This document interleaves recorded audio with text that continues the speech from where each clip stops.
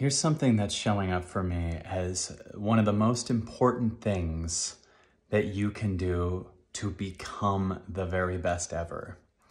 Don't spend any energy trying to be better than anyone else, even if you're competing with someone.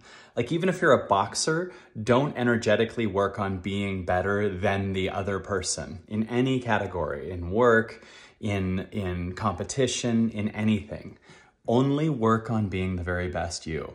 Energetically, what you're capable of, if you undo your hook on what anyone else is doing, is a thousand times better than if you're constantly looking at the competition or other people that you see as a threat to you. In other words, energetically, you're actually holding yourself down when you see them, even if you see yourself as better than them.